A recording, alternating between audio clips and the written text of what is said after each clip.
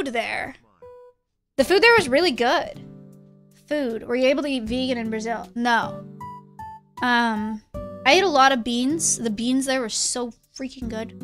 Um, what else? There's a lot of fish there.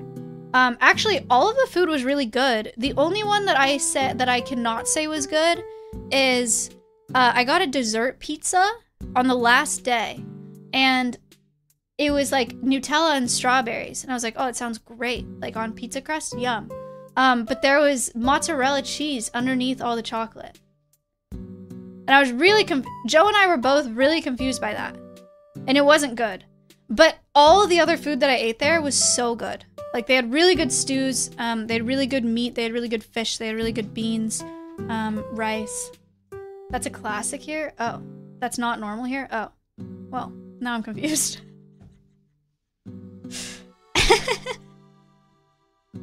How was the termite? I did eat termites uh, at the at the indigenous community. Um, they were fine. They really they tasted like corn nuts. But then they also wanted me to eat a uh, grub, which is like this, like this thick and like probably this big, and uh, it's like a it's like giant beetle grub, and they said it tastes like coconut, but there's just a lot of like juice in there, and it like explodes, and I just couldn't I couldn't do it. It was also alive, so I just I couldn't do it. I felt really bad. One of the last days we were there, me, Flip, and Joe were all going to get dinner, and I wasn't here for this conversation. I was just there for the tail end. But um, Joe and Flip were sitting in the lobby talking, and this lady leaned over and she's like, "Oh my God, do you guys speak English?" And they're like, "Yeah." And she was on a cruise with her husband, and her husband got she's from Texas. She's on a cruise with her husband. Her husband got an infection on the cruise, and then they dropped them in Manaus. And her husband's in the hospital, and she had to get this hotel by herself, and now they have to get arrangements to fly back to Texas. Isn't that crazy? Like I I can't imagine it was like sometimes overwhelming for me and I was very prepared to be there and I had Joe there and Eduardo and like other people who knew me and like spoke English. You know, I, I cannot imagine being dropped there with your husband being not there because he's in the hospital and not speaking any Portuguese and not knowing how safe the area is. It's not it's not like super unsafe, but it's not safe. Like you can't like I, she can't just like walk around, you know. Uh, but yeah, she was like asking Joe like, how do we get back? Like, what airports do we fly through? Like, what what do we do? I felt so bad. Um, but yeah, it was I I had no problems. Like, obviously didn't get anything stolen. No, I didn't get mugged. Like everyone was really nice. Um, I bought a bunch of stuff uh, as gifts for people. Um, I bought a bunch of stuff from that indigenous people made. I bought a bunch of stuff from local communities. Um, and I bought some other fun stuff too. Um, I guess I could show you all the stuff that I got. The goats love the flute. I got Connor a uh, a slide whistle from that that community of like 17 families. I feel really bad. I had to apologize to Kayla. Overall, the experience was amazing. The Amazon rainforest is amazing. Um, it is a trip of a lifetime kind of thing. It was really, really humbling um, to be around people that live there and are studying those animals, ornithologists, biologists, master students, you know, that are like actually there doing the research, um, and to be a part of it. And it's it's such important work. Um, and my job is to to teach people about that work so that people know what's going on. Um, and so it was just like a real honor you know, to learn from them and then to be able to use my platform uh, to teach people about what they're doing because I genuinely I think it's so vital. It's so important. So it was really cool to be a part of that. Um, also, one of the biggest takeaway I learned a lot um, in in general. But did you eat acai? Okay, yes, I did. Uh, I have a I have an American problem because acai here tastes like Jamba Juice, and it's like really really sweet. And I had acai in Brazil once, and there's like no sugar in it at all. And I was really alarmed. Um, but that's, you know, me being an American and being addicted to sugar, I guess. I didn't have Dr. Pepper for two weeks. I had my first one yesterday. Frick, what was that? Oh, I learned a lot, like a lot about conservation, a lot about the birds, and a lot about just like in general. I had a lot of really great conversations with some pretty amazing people. Um, but one of the things that I think I had to go there to learn, and I'm really, really glad I learned, is visiting local communities and visiting indigenous communities. I've always heard organizations like Rainforest Alliance and Amazon Watch talk about how important it is to support the people that are living there um, and support the livelihoods of people that are living in the Amazon or living in other rainforests. rainforests. Um, and I never understood it until I went there and saw them and met them. So I learned how important it is to support the livelihoods of the people sharing that land um, firsthand, which is really important for conservation. I think it's something that I've been, it's a puzzle that I think I've been missing in my conservation brain for a long time. Um, okay, so I got staff, my staff, a bunch of these things. They're uh, little figures made out of wood. Um, they make them out there. They're cool. There's a manatee. Um, there's a. They have pink river dolphins out there. Saw some of them. Really cool. Um, so pink river dolphin, another manatee, little manatee. So I brought these back for staff at Alveus. Um, I got this for my mom. it's a sloth, and it has a baby on it. It's his head, like it's a baby, and you hang it. This is for my mom. I got this at uh, that community with the 17 families, the really small one. I spent like 100 USD at this community. Eduardo thought I was nuts. Um, I got this for my brother and his wife. It's a pink river dolphin bottle opener because she loves dolphins. I got these for my niece and nephew. pink river dolphin and the gray river dolphin because they have both. And the Rio Negro uh, has the Brazil tag, cute. The stuffies. I got these at a market um, that we went to. I got these for my sister from that community. They, they make them out of acai. Um, it's uh, see little sticks, and then they dye the sticks. They are heat resistant, so they're hot pads for the kitchen. I got this for my sister and her girlfriend. Um, Brazil nuts for my dad. Uh, I got this stuff for Cutie. Uh, this is, it's like a little boat and it has candy because she said she wanted candy. And then um, I got her beads because you know how cute he is with her beads, except these are made out of acai. They dye them. Uh, I got this for my boyfriend's brother.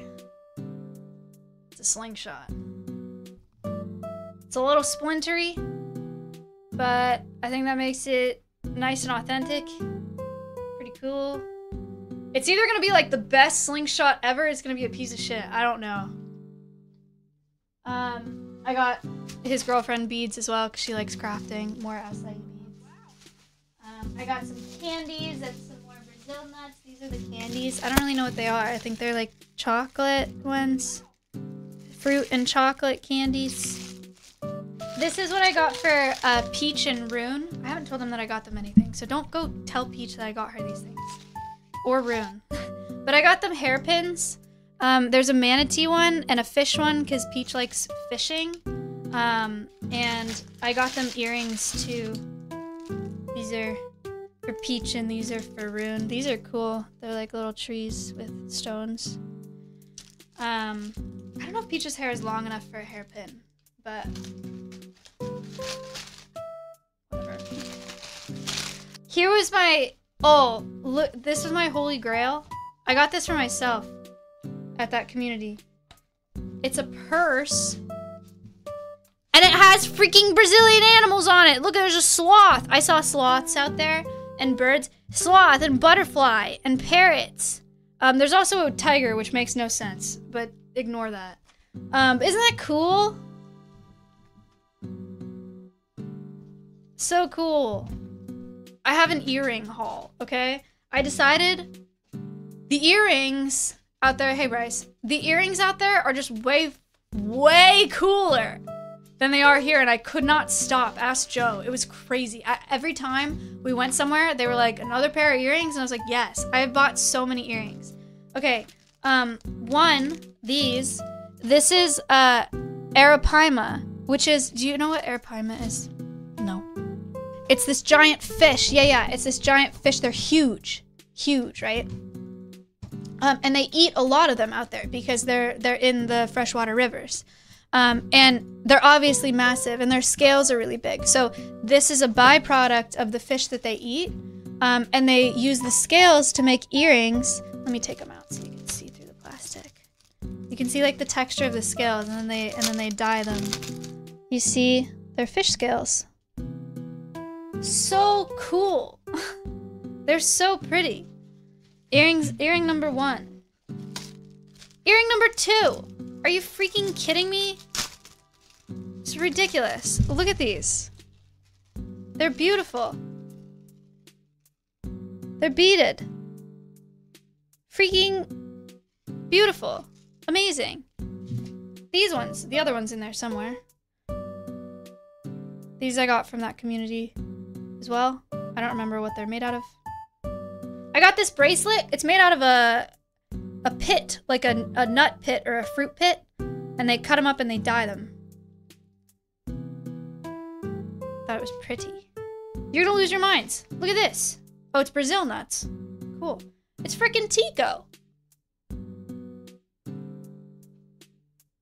Hello? Tico. Beaded Tico. And then look at these.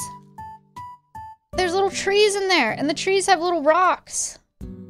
Anyway, they're very cool. Um, I, I got a lot of earrings. I'm very excited about the earrings.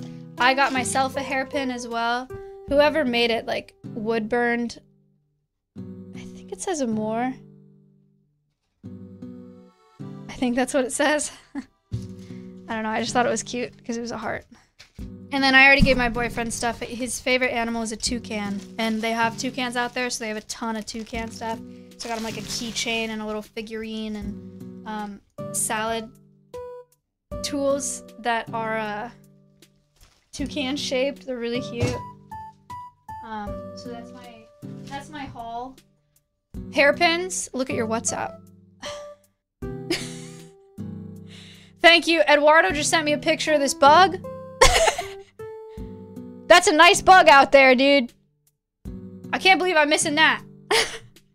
That's a nice bug. Thank you. This is how a hairpin works. I'm gonna mess it up, but look, can you see the back of my head right now? I can't see you. Can you see?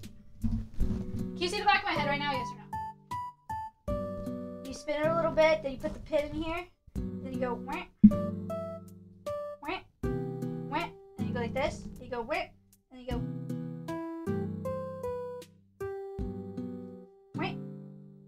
And it's in there, except I did too low, so- Ah! Wait, I'm going again. This is my first hint hairpin, okay? Nobody freak out.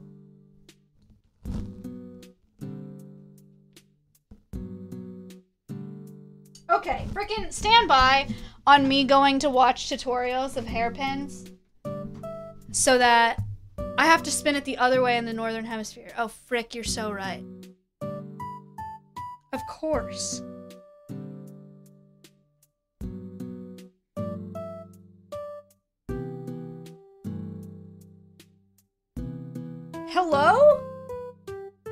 What is going on? Why is this working and now it's not working? Man, this only works in Brazil. Forget it. Things that are happening this month. Collabs that are happening this month. Should be, I don't have a date for it yet, but we should have Super TF coming out here this month. We have Trihex coming out again this month um, because uh, Anti-Venom wants to see it, and so we're gonna do just like a tour, and not a full-on collab. Uh, but it'll be pretty chill. So we'll have Super TF, we have Trihex, and we have Jack Manifold again, who may or may not be bringing Tommy Innit, and may or may not be bringing Jan Dan Clancy.